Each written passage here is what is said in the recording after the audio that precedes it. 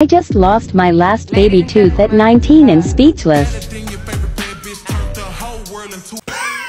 19 and you still have your baby tooth? Real this has got to be weird, right? There's something got to be wrong, huh, Bentist? Actually, no, this happens all the time. Some people lose their teeth early, some people lose them late. Everybody's different. In fact, us as dentists don't really know why. See, we initially thought it was the permanent teeth coming in that would dissolve the root, making the baby teeth fall out. But that's not the case, because studies showed that even when permanent teeth weren't existing, the roots would dissolve by themselves. That being said, sometimes the roots never dissolved, and that's why you have baby teeth that stay around for a lot longer.